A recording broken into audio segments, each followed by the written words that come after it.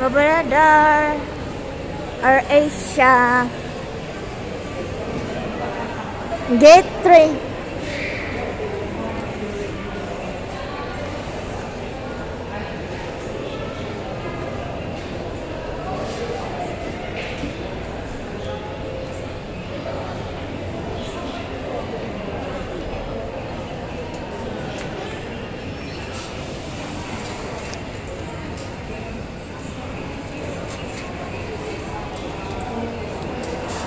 Gate number 3 kami.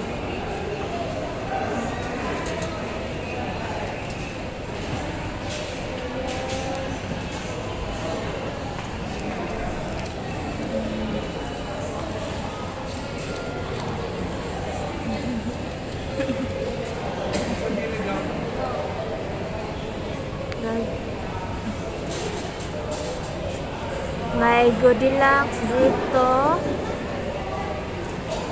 tsaka coffee.